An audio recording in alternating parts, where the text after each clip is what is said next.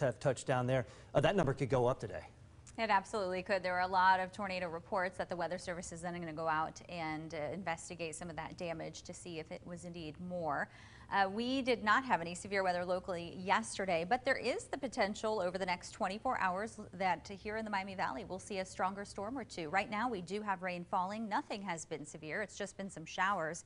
We don't even have any lightning with any of the activity out there right now. And we're going to continue to see showers through the morning as we head into the afternoon. It will become uh, less and less coverage. So there will be more breaks in the rain and even some breaks in the clouds where the sun peeks out a bit. So we could have some thunderstorms developing as that happens because it does get unstable with any sunshine. We'll push into the low 70s. So really no matter what point you go today, you'll want to check out live Doppler 2 HD radar to see where the rain is. Take along an umbrella probably a good idea for that uh, walk today.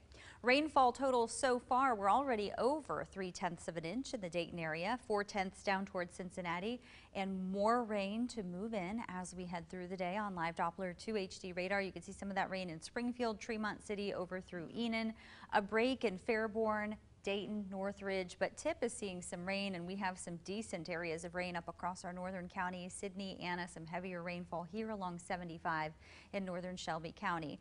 Zooming out, we have low pressure to our southwest that will continue to lift up our way, keeping us active today.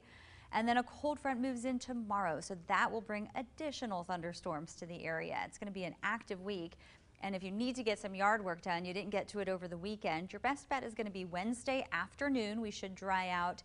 And Thursday, maybe through the first part of the day, we do expect both of those days to have some showers around, but there will be dry time. Today and tomorrow look to be the two wettest days of the week.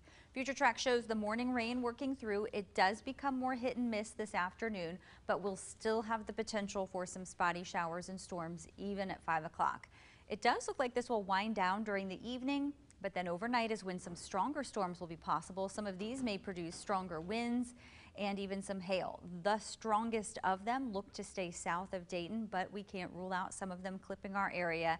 So there is a severe weather threat tonight into tomorrow morning. Those will move out by lunchtime tomorrow, but then in the afternoon, additional thunderstorms roll in. So really a couple of unsettled days to get through here as we start the week. Today up to 73, breezy, mild, scattered showers and thunderstorms likely. We'll still have some thunderstorms overnight, dropping to 64, and tomorrow a lot like today. Showers, thunderstorms at times with highs near 73 degrees. On Wednesday, it's really just morning showers. The afternoon looks dry, but we are going to be a lot cooler. A high of just 60, 58 Thursday, and then 60 again Friday. Very slight rain chances Thursday, Friday. Now look at those morning lows. We do get down close to 40 degrees.